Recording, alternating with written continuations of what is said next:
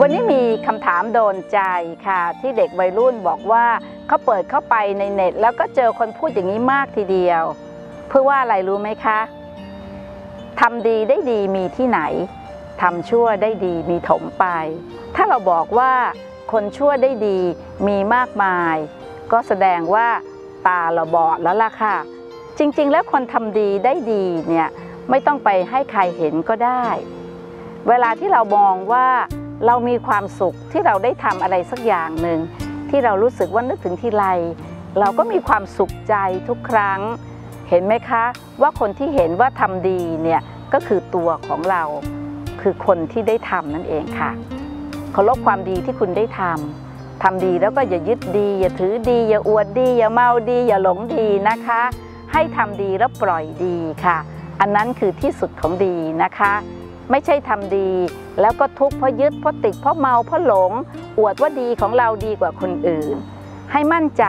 ในความดี แล้วก็ทำความดีอย่างตัวตนเล็กๆ เป็นอิสระจากความยึดดีด้วย ส่วนทำชั่วได้ดีมีถมไป ถ้าเราไม่ใจบอดจริง ๆนะคะ เราจะรู้ว่าแค่คิดชั่วก็ทุกข์แล้วค่ะ เพราะฉะนั้นการที่เรา มีความละอายและเกรงกลัวต่อการทำสิ่งที่มันไม่ถูกต้อง คุณยายว่านั่นเป็นก้าวแรกของการเริ่มเข้าสู่การทำดีค่ะ ขอให้คุณหยุด เพราะมีความละอายและเกรงกลัว อย่าเชื่อว่าเราทำชั่วแล้ว คนอื่นไม่เห็นเราจะลอยตัวนะคะ เงาในกระจกมันสะท้อนตรงเสมอค่ะ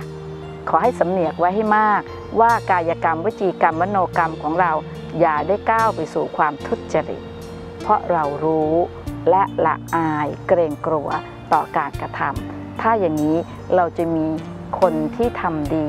และหยุดชั่วเต็มไปหมดเลยค่ะ ขอให้เด็กๆมีความอาถรรพ์อยู่โดยธรรมนะคะ แล้วก็มั่นใจอยู่กับสิ่งที่เรารู้ว่าถ้าชั่วแม้แต่เล็กน้อยจะหยุดทำทันที ดี แม้แต่เล็กน้อยจะเร่งทำทันที